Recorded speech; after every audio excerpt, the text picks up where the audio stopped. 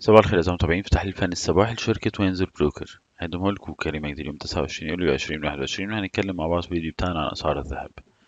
طريقة تجميع أسعار الذهب طبعا ده بعد اتباع جيروم باول رئيس مجلس الاحتياطي الاتحادي لهجة تميل إلى التيسير النقدي مشيرا إلى استمرار وجود المزيد لفعله طبعا قبل البدء في تشديد السياسات بينما قدم الدولار الضعيف المزيد من الدعم للمعدن الأصفر خلال طبعا تداولات أمس. امبارح كان عندنا مجموعة من البيانات الهامة ولكن كان أهمهم على الإطلاق قرار الفايدة الأمريكي اللي جيب نتيجة تثبيت وعشرين بالمئة. والنهاردة في انتظار مجموعة من البيانات الهامة أهمهم الناتج الإجمالي المحلي الربع السنوي للربع الثاني للولايات المتحدة الأمريكية المتوقع ليه 8.5 من عشرة في المية دي كانت من البيانات ومن الأخبار ولذلك خلونا ننتقل مع بعض ونشوف التشارت توقعاتنا ليه على مدار اليوم النهاردة.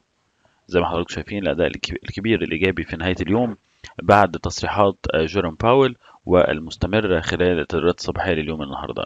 أداء إيجابي على ال EMA على ال SAR على ال flat trend وتقاطع المتوسطات السعرية الأعلى ثبات السعر على نقطته المحورية 1815 ولذلك المجال مفتوح تماما لاختبار مرة أخرى ل 1823 اللي هناك كسرها هيفتح المجال لل 1832 وراها ال 44 مرة تانية الاتجاه الأكثر توقعا هو الاتجاه الإيجابي. وده هيتحقق بكسر 1823 علشان يروح لل 32 وراها ال 44